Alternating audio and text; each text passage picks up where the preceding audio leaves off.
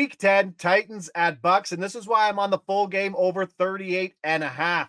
Over the last four weeks, opposing QBs have absolutely shredded this Tampa Bay secondary. Last week, CJ Stroud, 470 yards. The week before that, Josh Allen, over 300 yards. Desmond Ridder put up 250. And then Jared Goff went over 350 yards in consecutive games versus Tampa Bay.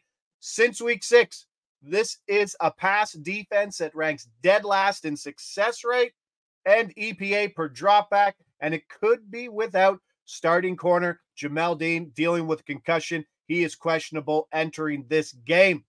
Could be a big game for Will Levis.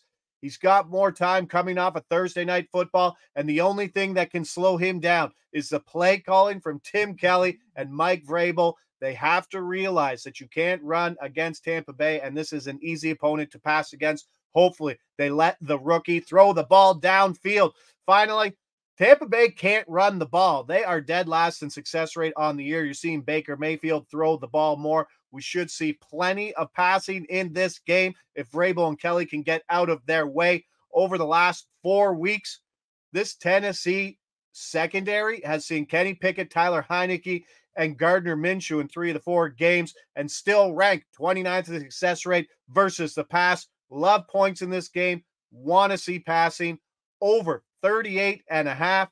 Titans, Bucks, week 10.